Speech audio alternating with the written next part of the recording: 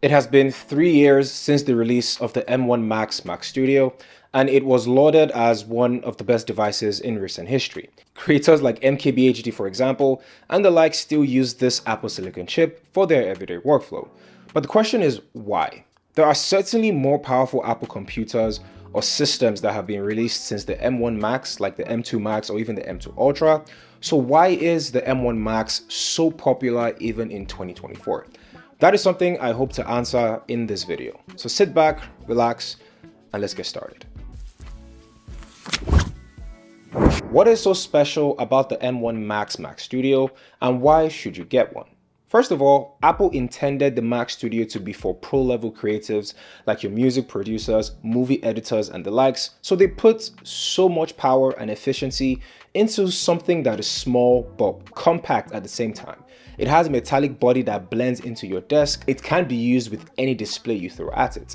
It is hands down one of the most impressive computers that I have used personally in a while. And the reason I decided to get one was because I needed something with a lot of power that can take applications like Final Cut Pro, Premiere Pro, Photoshop, and any other software in my creative journey. And the M1 Max Mac Studio does everything and more. I was stuck between getting this and the M2 Pro Mac Mini, and while the Mac Mini is great or is a great device to have, the Mac Studio is more pro level with the different ports which we'll get to very soon. And of course, let's talk about the design. To be very honest, looking at this thing every morning gives me a sense of uh, seriousness. It makes me feel like I am doing something worthwhile. It is very expensive, it is very premium, and it is a constant reminder that creating content allowed me this opportunity to own one. If it isn't clear by now, I love the design of the Mac Studio. The square-shaped design with the rounded corners are aesthetically pleasing. The silver colorway blends in my desk pretty well, and it doesn't weigh much. It weighs only around 6 pounds or so, which doesn't matter because it's something that you shouldn't really be carrying around.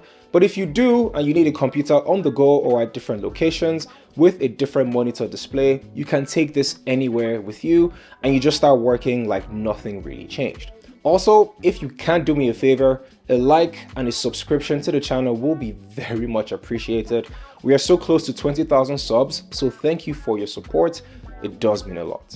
I think the Mac Studio being small but mighty is one of its biggest advantages. It has so much power in a very compact build, so the flexibility is out of this world. A few more reasons to get this if you are in the creative industry are the number of ports the Mac Studio will give you.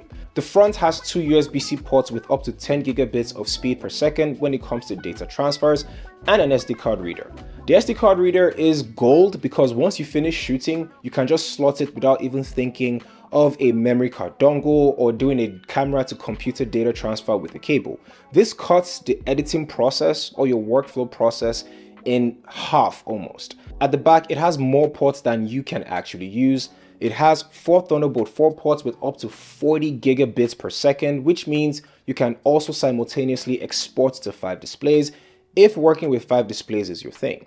It has an Ethernet port, two USB-A ports, one HDMI port, and of course, a headphone jack. It has built-in speakers, but I wouldn't really recommend them as they're not loud enough nor are they good for listening to music or even editing any form of audio. And that is something a lot of people have to consider before they get this. So this is a portable computer without a screen, without a keyboard, a mouse, or even a webcam. So video calling or even doing things like FaceTime is not possible unless you get a webcam. I'd like to thank OBSBOT for sponsoring this video. Getting the right webcam is essential if you work from home. You do not want a situation where people can't see you or the video quality is so bad that it puts people off.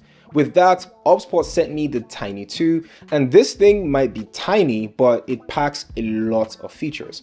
For one, it has an ultra large sensor that allows in more light. The auto tracking is pretty awesome, especially if you're moving around and you want to stay the main subject of the frame.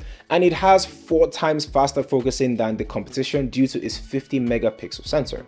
The 50 megapixel lens also allows for better low light performance so you don't always need the sun or any kind of key lights for it to work as intended. One thing OBSBOT has done is create gesture controls that actually work and they've infused it with AI. If I use my fingers to form the letter L, it detects that hand gesture and zooms in and out and it is very responsive. You can also download the app from their website. It is like their control center that houses everything. So if you're live streaming games and you want people to see your controller or your keyboard, for example, you can do that by pressing the desktop mode. You can also adjust how far or how close you want the camera to be on you with these features. All in all, I found the OBSBOT Tiny 2 to be very intuitive. And if you're interested in this, I'll leave a link down in the description below to get started. And I'm happy to answer any questions that you may have regarding the Tiny 2. Thanks again to OBSBOT for sponsoring this video. All right, let's move away from the design and let's talk about what you really want to know, the performance and why this is a must have for creatives or people in the industry. Just to give you a little bit of context, this is the base model of the M1 Max Mac Studio. That is 32 gigs of RAM, 512 gigs of storage, and so on. Now, if you want to talk about the pros and cons, there is a huge con, and that is the base model for something as powerful as this should have a base storage of one terabyte as opposed to 512. Now, if you did want to upgrade to one terabyte, it'll cost you a lot more. For obvious reasons, my needs and your needs are very different. I'm a YouTuber who uses different softwares and applications that are well optimized for the Apple Silicon and perform very well. Let's take Final Cut Pro for example. To export an 8 to 10 minute video that is 4K S-Log footage, it takes about 2 minutes to export it from Final Cut and I then take it to YouTube to upload for you guys to see. By contrast, if you use a top-end PC, it might take longer to export even if that PC has more raw power. Apple has found a way to fully optimize this computer to work with other applications. It also has the same effect for DaVinci Resolve as the export times are very fast. That being said, if you wanted to use the Mac Studio and base it on just raw power, then it's lose on every front as there are PC builds that are far more powerful than this. But like I said, context really is everything. The next thing I've liked so far is how smooth and snappy the operating system is.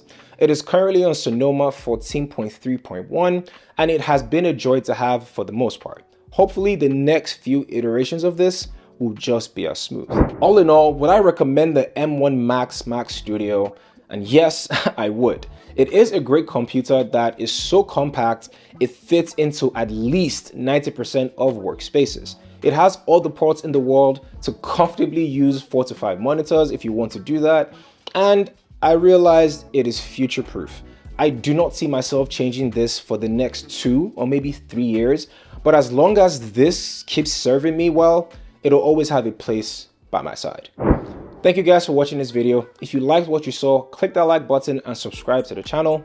My name is KJOS, and I'll catch you guys in the next one.